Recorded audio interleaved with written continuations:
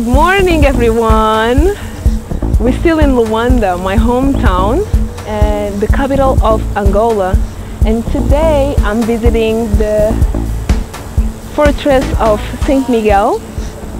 Over here, in this wall, you can see the very first president of Angola, Agostinho Neto. The fortress of Saint Michael was built in 1576 by Paulo Dias de Novaes.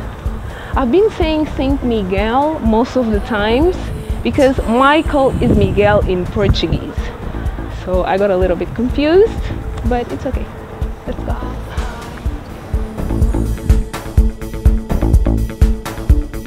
And this beautiful statue of this strong woman is Queen Nzinga Mbande. She was the queen of the 17th century of the Ndongo and Matamba kingdoms of the Mbundu people in Angola.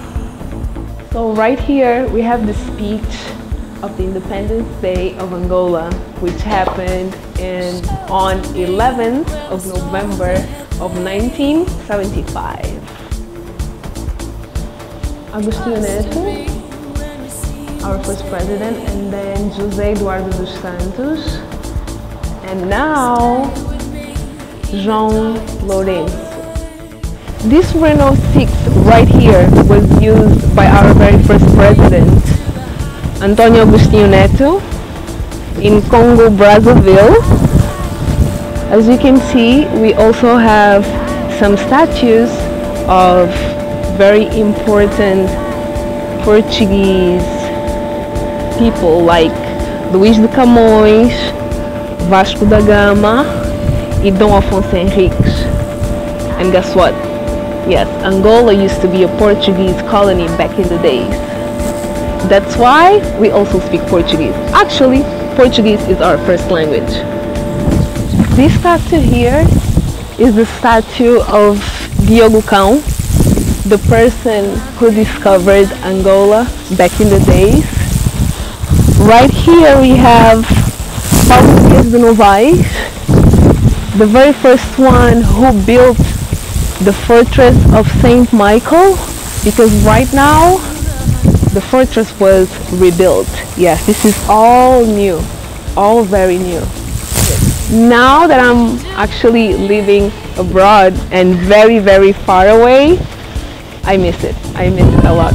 That's why I'm here showing you guys a little bit of my country and where I come from. I love this view. This view is the Bahia of Luanda. What a beautiful sightseeing. I just love my hometown. And this is the flag of my country, Angola, where you can actually find on the emojis on your phone. And this is the end of our day. Make sure you comment, subscribe, and like down here in this link. Take care.